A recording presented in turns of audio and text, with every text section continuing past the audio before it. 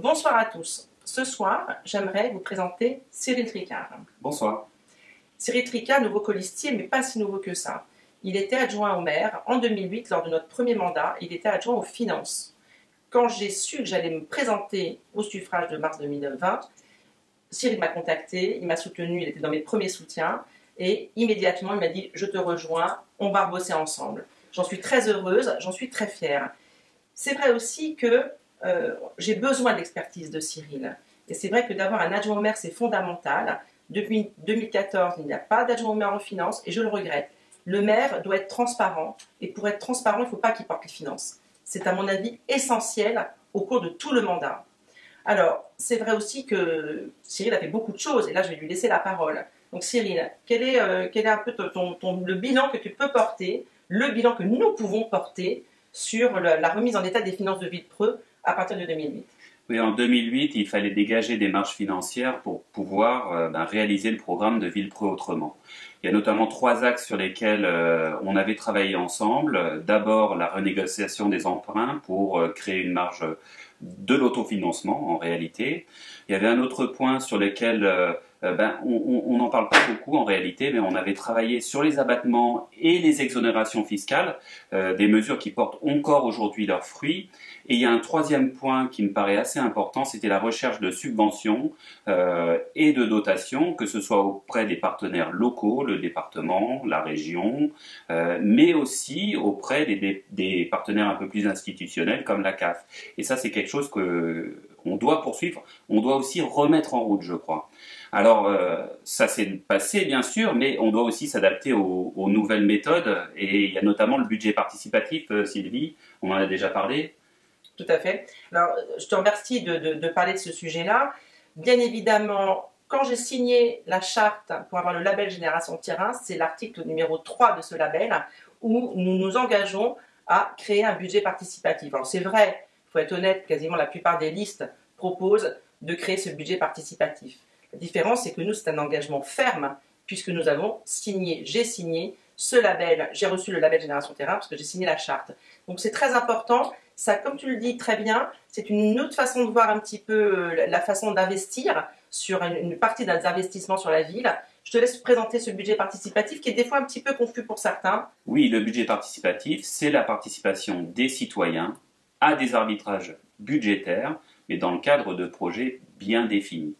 Nous souhaitons y associer le conseil municipal des jeunes que nous allons recréer et nous avons l'intention d'y dédier une enveloppe de l'ordre de 50 000 euros.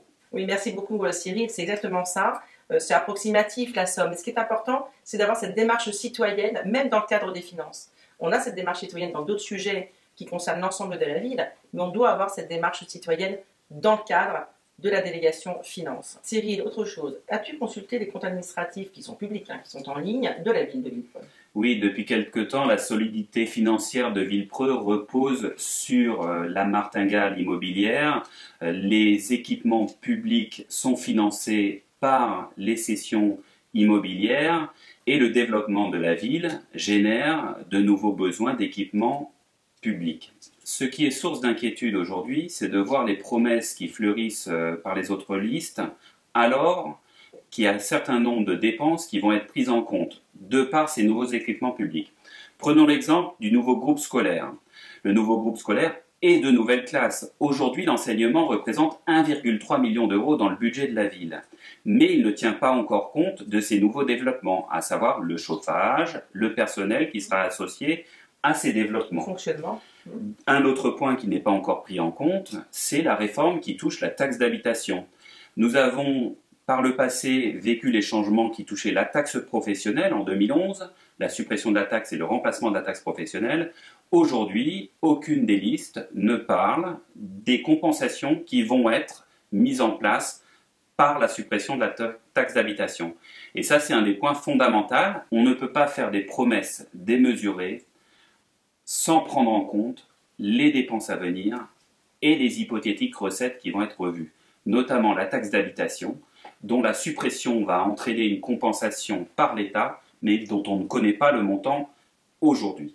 Au-delà de ces incertitudes, nous allons travailler avec les différents partenaires de la commune, à savoir c'est le département, c'est la région, c'est la communauté d'agglomération de Saint-Quentin-en-Yvelines. C'est extrêmement important. Je l'ai déjà dit sur certaines vidéos. Ce sont des partenaires que personnellement, je connais extrêmement bien et depuis très très longtemps.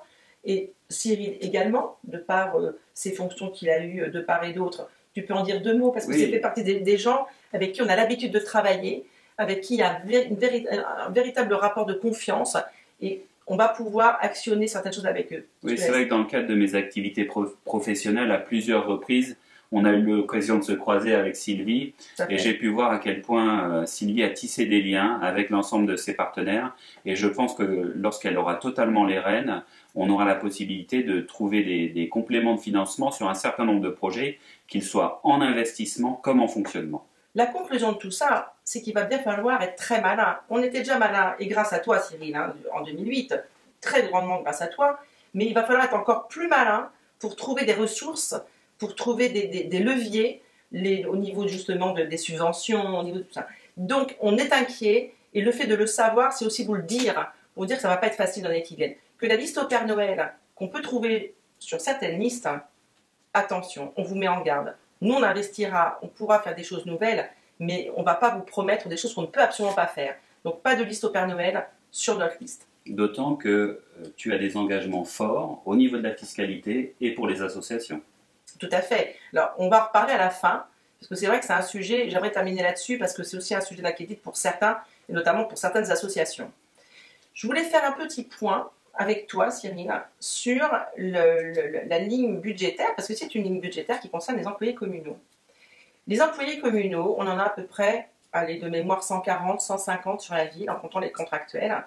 C'est une vraie ressource, les employés communaux. C'est une vraie ressource parce que c'est eux qui font que la ville est ce qu'elle est. Ça, c'est important de le dire. Donc, c'est une véritable ressource qui coûte de l'argent, bien sûr, mais nous, on y tient fortement. On veut redonner un climat de confiance avec euh, vis-à-vis des employés communaux. Je te laisse en parler un petit peu parce que c'est un sujet que tu connais bien aussi. C'est un sujet, un sujet auquel je tiens énormément. Oui, les employés communaux euh, sont acteurs de la politique et de la gestion budgétaire. Et il est primordial de réinstaurer le dialogue. Et le dialogue, ça veut dire l'écoute mais aussi de récompenser le mérite et non pas que l'affectif.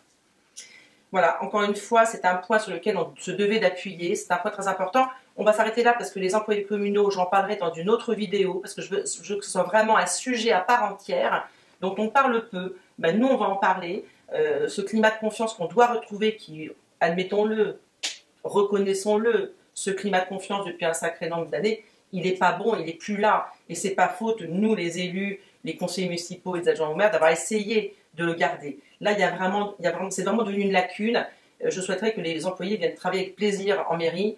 On y gagnera sur tous les tableaux et les villes preusiens, ils gagneront beaucoup. Alors pour terminer, il va bien falloir conclure hein, sur les finances, c'est qu'on a quelques points forts, mais de façon générale, le maître mot, le plus important, c'est d'être dans la maîtrise de la fiscalité. C'est ce que nous faisons depuis 2008. Donc on va continuer sur ce qui fonctionne, sur ce, que vous attendez de nous au niveau des finances. Donc nous allons continuer sur cette maîtrise de la fiscalité. C'est capital. C'est capital pour tous les portefeuilles de la ville des, villes preusiens. C'est important pour tous les villes preusiens. Ensuite, a les associations.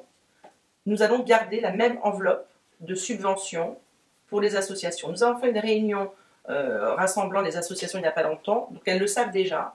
L'enveloppe restera la même. C'est très très important pour qu'elles n'aient pas cette angoisse de se dire si on change, est-ce que ça, va, baisser, ça va augmenter? C'est pareil, c'est un peu, le, un peu la promesse du Père Noël. Euh, la liste qui va vous dire on va augmenter les subventions aux associations, où est-ce qu'ils vont trouver l'argent? Donc il faut, juste être un peu réaliste. Par contre, nous on s'engage à ne pas la baisser. Tu as peut-être quelque chose à rajouter, je ne sais pas, Cyril Non, moi je pense que c'est vraiment dans la lignée de ce qu'on avait mis en place en 2008 et euh, on peut aussi répondre lorsqu'il y a des projets bien spécifiques sur des années spécifiques à, des demandes complémentaires de la part des associations. C'est ce qu'on appelait. Tu te rappelles, Cyril, à l'époque, euh, quand on travaillait ensemble, on appelait ça les demandes de subventions exceptionnelles pour un événement exceptionnel. Alors, bien évidemment, ce qui est exceptionnel, ça, le mot, la définition est dedans. Donc, bien évidemment, on le maintiendra parce qu'il y, a un certain nombre d'associations qui ont beaucoup d'idées euh, et qui, ont, qui sont forces de propositions vraiment intéressantes, bien sûr. Donc, voilà sur le, ce qu'on voulait vous dire sur les finances, sur le budget. C'est un élément central que vous allez retrouver dans notre programme parce que sans finance, sans une gestion euh, rigoureuse, responsable des finances, on ne pourra rien faire sur la ville. Il faut quand même être conscient, c'est pas très glamour, ça fait pas tellement rêver, mais c'est un sujet qui est capital et on se doit de vous en parler de façon sincère, de façon claire, je l'espère, et de façon euh, vraiment tout à fait transparente. Voilà, je vous dis bonsoir, je vous dis à très vite, parce qu'on va encore se retrouver le week-end prochain dans les rues, au marché, partout dans Villepreux, et je serai bien sûr accompagné comme d'habitude de Cyril Tricard. À bientôt. Bonsoir.